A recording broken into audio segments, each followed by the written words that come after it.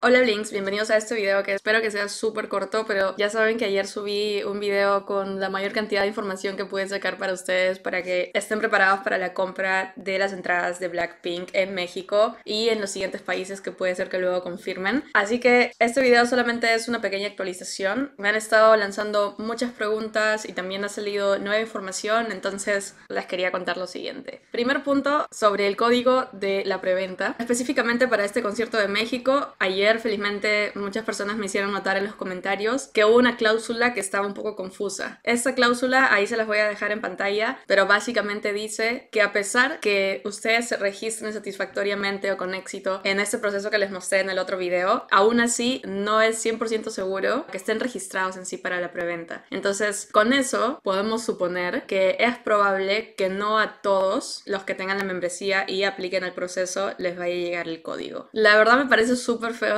que hagan eso porque muchas personas no tienen ese dinero como que les sobre los 23 dólares para comprar esa membresía. Obviamente la membresía da otros beneficios como por ejemplo acceder a ciertos posts exclusivos que hacen las chicas en Weavers y también a veces ustedes pueden comentarles y ellas les pueden responder. Pero si ustedes no ven gran beneficio de esto que les estoy contando, entonces probablemente no sea lo mejor para ustedes comprar la membresía. Yo personalmente, aún sabiendo eso, si es que no tuviera la membresía, sí la compraría si es que estuviera buscando los tickets más caros, los tickets más importantes, los que se acaban mucho más rápidos, que son los VIP. Pero si ustedes buscan un ticket que sea de los de atrás, los de campo, que tienen una mayor cantidad, probablemente para la venta general sí puedan encontrar algunas entradas. Pero lamentablemente nadie les puede confirmar que vaya a haber o que no vaya a haber. Algunas personas inclusive están diciendo que si se hace sold out esta fecha, van a sacar una segunda fecha el 27 de abril. Pero todos estos son rumores, ¿ok? Nada de esto está confirmado, son totalmente rumores. Así que todo esto que les cuento, tómenlo como sugerencias, en base a mis experiencias personales, en base a lo que otras personas están contando, pero para que ustedes puedan saber a 100% de seguridad qué es lo que deben hacer, qué es lo que les incluye y todo eso, tienen que ir a los términos y condiciones oficiales. Y lo que les digo es que los términos ahora mismo para el concierto de México está diciendo que no se les asegura que teniendo la membresía y aplicando el proceso de preventa les vayan a dar acceso a la preventa.